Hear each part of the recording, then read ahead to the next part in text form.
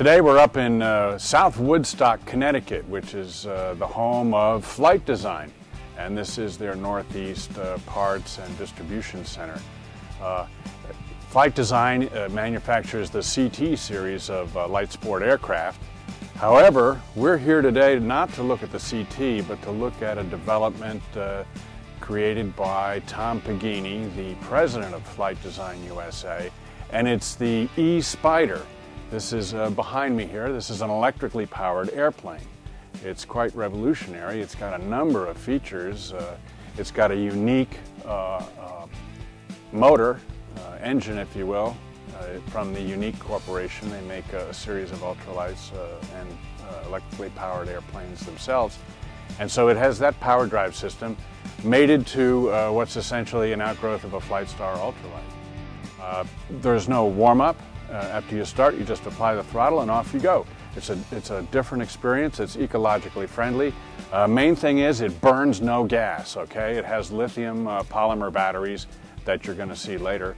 And so uh, you just apply the power and off you go.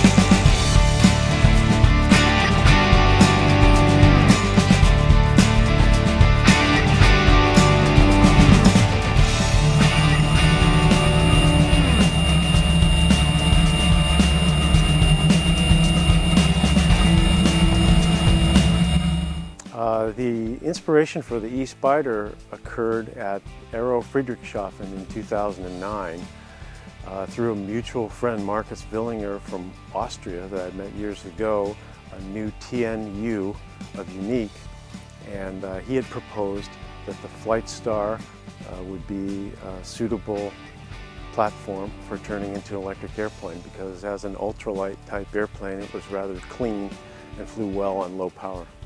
I do think that soon we'll see practical airplanes being powered by electric systems.